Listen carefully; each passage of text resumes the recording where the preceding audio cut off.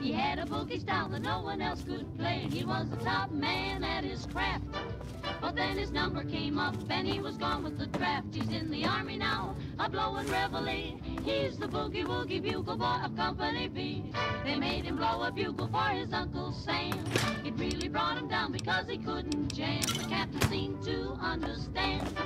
Because the next day the cap went out and drafted a band. And now the company jumps when he plays reveille. He's the boogie woogie bugle boy of Company B.